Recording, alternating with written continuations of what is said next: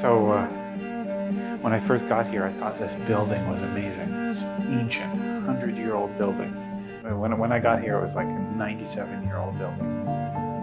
Wow, I mean, how can anything be around that long?